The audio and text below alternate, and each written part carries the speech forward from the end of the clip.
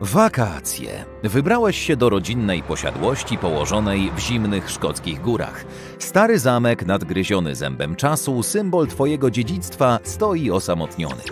Dzieciństwo spędziłeś na uganianiu się za wiewiórkami w okolicznych lasach, a w dorosłym życiu czerpiesz ogromną radość ze spacerowania po tych terenach. Zawsze można natknąć się tu na coś nowego. Pewnego razu, przedzierając się między drzewami, trafiasz na małą kamienną budowlę. Jest pokryta ziemią i porośnięta trawą. To ciekawe, nigdy wcześniej jej nie widziałeś. Odsuwasz ziemię i wyrywasz trawę, by dowiedzieć się, co jest w środku. Twoim oczom ukazują się małe, przestarzałe drzwi. Wyglądają jak drzwiczki dla psa. Może była to królewska psia buda? Otwierasz je i zaglądasz do środka. To małe, puste pomieszczenie. Leży tam tylko stary worek. Wyciągasz go i przyglądasz mu się, próbując zidentyfikować materiał. Ale chwileczkę, w środku coś jest. Wyciągasz jajko wielkości mniej więcej strusiego jaja. Hmm, ale przecież psy nie znoszą jaj. Przyglądasz się znalezisku. Jest bardzo stare i waży więcej niż się spodziewałeś. Delikatnie nim potrząsasz. Masz wrażenie, jakby w środku przelewała się ciecz. Nagle czujesz energię, która wydobywa się z jego wnętrza. Wystraszony chcesz wyrzucić jajo, ale w ostatniej chwili się powstrzymujesz. Poczułeś niewytłumaczalne uczucie przywiązania, jak gdyby należało ono do ciebie. Chwytasz je mocno, bezpiecznie owijasz i zabierasz do domu. Kładziesz jajko na kuchennym stole, a sam siadasz obok, obserwując je i czekając, aż coś się wydarzy. Robisz się śpiący.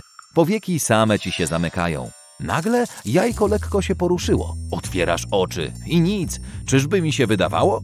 I nagle znowu zaczyna się poruszać, ale tym razem nie przestaje się trząść. Jajko toczy się po stole, pojawiają się w nim pęknięcia, a coś zawzięcie uderza w skorupkę od środka, próbując się wydostać. I wreszcie pod naciskiem swojego wszechmocnego małego lokatora jajo pęka. Stworek wyciąga w górę łapki i krzyczy w niebogłosy Jestem wolny! Przyglądasz się temu młodemu stworzeniu. Wygląda jak jakiś dziwny ptak. Cztery łapy, skrzydła, łuski. Ach, to smok! Chwileczkę, że co? Smok? A tak, smok, odpowiada stworzenie, czytając w twoich myślach. Ale jak? Co? Z wrażenia nie jesteś w stanie sklecić zdania.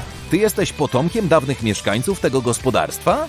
Kiwasz głową zszokowany, że smok umie mówić. Zgodnie z rozporządzeniem z roku 1061 my, nieliczne smoki, które wyklują się z jaja, pozostają wierne swojemu opiekunowi. Patrzycie sobie prosto w oczy. Smok ewidentnie czeka na twoją reakcję. Jesteś tak skołowany, że nie wiesz co powiedzieć. Czy wybrałeś dla mnie imię, na które mam reagować? Ach, no tak, imię. Hmm, będę mówić do ciebie Darek. Darek w odpowiedzi kłania się w pas. To godne imię. Mam nadzieję, że przyniosę mu chwałę. Chwałę? Nie rozumiem, skąd się tu wziąłeś i dlaczego właśnie teraz? Darek wyjaśnia, że kiedy w powietrzu dochodzi do połączenia magicznych cząstek, tworzy się idealne środowisko do wykluwania smoczych jaj. Naukowcy pewnie wyjaśniliby to zmianami w atmosferze. Trudno ocenić, czy chodzi o temperaturę, poziom wodoru, czy zmiany w oceanie. Przyjmujesz więc do świadomości, że to po prostu magia. To był męczący dzień, więc kładziesz się do łóżka. Następnego ranka spodziewasz się, że powita cię Darek, ale smoka nigdzie nie ma. Wychodzisz na zewnątrz, jest bardzo cicho. Nie słychać śpiewu ptaków i beczenia owiec. Nagle nadlatuje Darek. Ma już rozmiar krowy. Strasznie szybko rośnie, a ty chyba domyślasz się dlaczego. Starasz się nie zastanawiać nad tym, co porabiał. Pierwsza lekcja, człowieku, wsiadaj! Darek pochyla się, żebyś mógł wgramolić się na jego grzbiet. Nie zadajesz mu pytań, ufasz mu, że wie, co robi. Bez żadnego ostrzeżenia smok zaczyna rozpędzać się w kierunku polany niczym samolot na rozbiegu. Niesieni siłą wiatru, zbijacie się w powietrze. Szybujecie w przestworzach i lecicie coraz wyżej. Mocno się trzymasz. Darek pędzi slalomem między drzewami, a ty przeklinasz się w duchu, że nie zostałeś na ziemi. Słyszysz głos smoka w swojej głowie. Będziesz moimi oczami, będziesz obserwował to, czego ja nie widzę. Eee, widzę drzewa. W oddali są jakieś pagór... Nie teraz! Przerwał ci Darek. Będziesz wypatrywał zagrożeń, a nie opisywał mi krajobrazy. Lecicie już od wielu godzin i nie masz pojęcia, gdzie się znajdujecie. Jesteś zbyt skoncentrowany na tym, by się trzymać. Jest zimno, trzeba było się cieplej ubrać. A teraz skacz! I skaczesz bez wahania, ufając rozkazom Darka, ale szybko tego żałujesz, bo właśnie uzmysławiasz sobie, że zaraz uderzysz w ziemię. Odległe drzewa stają się coraz większe. Wyciągnij ręce i złap się! Smok nadlatuje od dołu. Lądujesz na jego grzbiecie i momentalnie się go chwytasz. Dobra robota! Mieliśmy tylko jedną szansę, by ta sztuczka się udała. Zaśmiał się Darek. Bezpiecznie lądujecie na nieznanym ci terenie. Idź nazbierać drewna, rozbijemy tu obóz. Irytuje cię już ciągłe wykonywanie rozkazów twojego smoka, ale bez marudzenia idziesz zebrać chrust. W tym czasie Darek gdzieś znika. Zebrałeś spory stosik drewna i ładnie je ułożyłeś. Smok ląduje obok z hukiem, nie docenia twojej ciężkiej pracy i rozpala ognisko jednym chuchnięciem. Następnie kładzie się obok i momentalnie zasypia, głośno przy tym chrapiąc. Cieszysz się ciepełkiem, ale siedzenie na ziemi nie jest zbyt wygodne. Myślisz sobie, że przecież od tego masz smoka, by położyć się obok niego. Ale Darek daje ci psztyczka Oh, swoim man. ogonem. Z zamkniętymi oczami mamrocze Nie jestem materacem, jestem smokiem! I wraca do spania. Zrezygnowany kładziesz się w jakimś innym niewygodnym miejscu i zasypiasz. Rano ze zwęglonych kawałków drewna nie wydobywa się już praktycznie żadne ciepło, a smoka nie ma. Nic dziwnego. Wzdychasz. Najgorszy smok na świecie. Darek jak zwykle robi wielkie wejście i rzuca ci kawałek ugotowanego miejsca. Nie pytasz skąd je wziął. Lepiej tego nie wiedzieć. Najedz się porządnie, dziś czeka nas ważne zadanie. Zbliża się niebezpieczeństwo, mówi Darek spoglądając w nieznane. Zjadasz posiłek, ciesząc się tą małą radością, jaką daje ci znajomość ze smokiem. Spoglądasz w górę i zauważasz, że w ciągu nocy Darek zrobił się dwa razy większy. Znowu wspinasz się na jego grzbiet. Ma tak wielkie skrzydła, że nie potrzebuje rozbiegu i może wystartować bez ostrzeżenia. Bądź czujny, dziś jest ten dzień.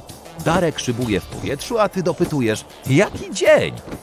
Koncentruj się! krzyczy smok. Lecicie na północ. Powietrze jest zimniejsze, ale dziś smok wydziela więcej ciepełka. W oddali kłębią się ciemne chmury. Z daleka dostrzegasz jakieś kształty, ale nie jesteś w stanie odgadnąć, co to. Darek wyczuwa twój niepokój. To lodogulce! Ta sama magia, która pozwoliła mi się wykluć, wykuła je z lodu. Ich celem jest zamrozić cały świat. Tylko my możemy je powstrzymać. Martwi cię fakt, że jest ich tak dużo. Dziesiątki, a może nawet setki. Kto wie, ile jeszcze kryje się w chmurach. Zbliżacie się. Darek rozpędza się na lodogulce, odpiera potwory, zionie na nie ogniem i gryzie. Trzymasz się mocno, próbując uniknąć ostrych zakończeń ich skrzydeł.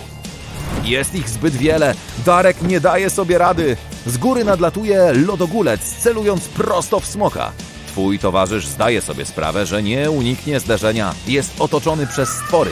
Skaczesz na napastnika, zderzasz się z nim w powietrzu, czujesz jakbyś przywalił w ścianę. Nic to nie dało, oprócz tego, że nieco go zdekoncentrowało. Lodogulec odpycha cię, a ty spadasz. Darek cię widzi, ale nie może ci pomóc. Słyszysz jego rozpaczliwy ryk. Spadasz bezradnie na ziemię. Mam cię! Nagle słyszysz kobiecy głos. Dziewczyna chwyta cię za rękę i wciąga na drugiego smoka. Uśmiechasz się do niej. Odwracasz się i widzisz, że jest tam nie jeden, a dziesiątki smoków, które lecą na pomoc Darkowi. Uderzają w lodogulce, ratując twojego towarzysza. I nie ma znaczenia, ile ich jest. Nic nie jest w stanie pokonać smoczej siły. A niedobitki uciekają na daleką północ. Wszystkie smoki i ich jeźdźcy spotykają się na ziemi. Darek z impetem ląduje obok ciebie. Odwracasz się do dziewczyny, która cię uratowała i pytasz: Dogadujesz się ze swoim smokiem? Co masz na myśli? To mój najlepszy przyjaciel! Śmieje się i przytula smoka.